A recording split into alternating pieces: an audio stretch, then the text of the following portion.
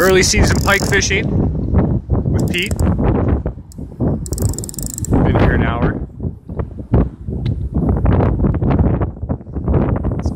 Grab that line. Got it, buddy. Here, I'll take the hook. Oh.